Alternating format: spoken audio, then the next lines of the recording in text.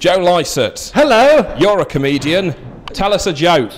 Um, no, come and watch me live. Then I'll tell you. I don't actually do jokes. I see. Good response. Um, yeah, it's an all right response. It's a disappointing response. But there we go. Uh, also, before we start the interview, you may notice that our producer Amar is holding the camera Yeah. rather than using the tripod, which is broken.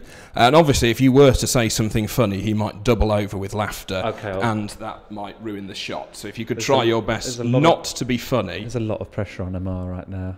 Look at him. Let's just look at him. Oh, it's hard. See, I did. Um, I had to sit for a still life painting last week, and it's really Were you hard. nude? No, I wasn't nude. They wish, but it is hard to stay still in one place. And Amar's sort of struggling there, isn't he? Look at his pathetic arms. He's oh, there it is. There it is.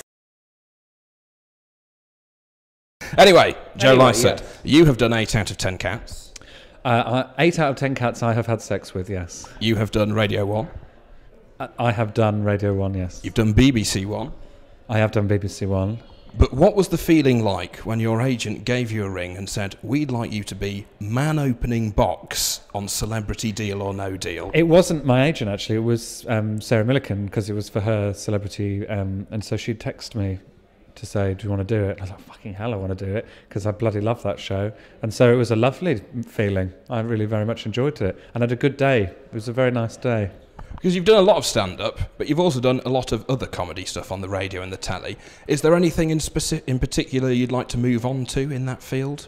Um, no, well, I'd like to get better at stand-up. That's my first love, so I'd like to do more of that and write more and do more Edinburgh shows and whatever.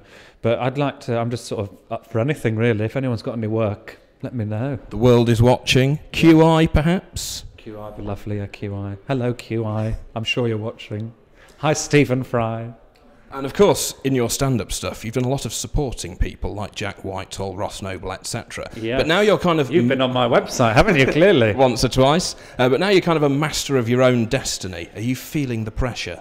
Um, to a degree, but only to a degree. Like it's not that pressured. It's not like I'm saving lives or anything. So the only pressure is to not look like a dick. So Is it different doing support to being the main man? I haven't been, I haven't done my own tour, so I don't know what it is like to be the main man. I suppose I know what it's like to be the main man in, in the sense that I've done my own show at Edinburgh. You're the main man here. I am the main man here. There's a lot of pressure. Gary Delaney's just been on. He was really funny and he's really good. Everyone's really good.